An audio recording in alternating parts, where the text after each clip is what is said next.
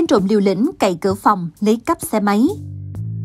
Vụ việc sau xảy ra tại quốc lộ 1K, Linh Xuân, thành phố Thủ Đức, như lời cảnh báo mọi người cẩn trọng khi để tài sản lại phòng trọ, kẻo có ngày bất sạch. Ghi nhận từ camera an ninh vào ngày 13 tháng 9 cho thấy, nắm bắt được tình hình người dân đi vắng, nam thanh niên đã khóa cửa ngoài ung dung vào trong phòng trọ để lựa chọn tài sản. Sau khi quan sát lục lọi, tên này đã bẻ khóa xe máy hiệu Honda Way mang biển số 72G1 20767 rồi mở cửa dắt ra ngoài tẩu thoát. Bây giờ đi ra ngoài tốt nhất nên dùng từ 2 cho đến 3 cái ổ khóa, dù là ở phòng trọ cũng vậy, làm 3 năm không bằng bị trộm 1 giờ. Gắn camera vô làm gì khi mà cửa khóa không kỹ, tốt nhất tài sản của mình thì nên cẩn trọng vẫn hơn. Bây giờ ra đường sơ hở tí là mất cọng di chuyển hoặc cái điện thoại dư chơi, chứ nói gì đến mấy cái ổ khóa nhỏ nhỏ ở phòng trọ chứ.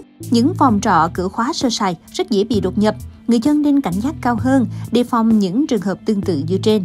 Các bạn nghĩ sao về tình huống trên? Hãy để lại bình luận ngay bên dưới video và nhấn vào nút đăng ký theo dõi kênh Sài Gòn TV để không bỏ lỡ những tin tức mới nhất xung quanh cuộc sống của chúng ta nhé.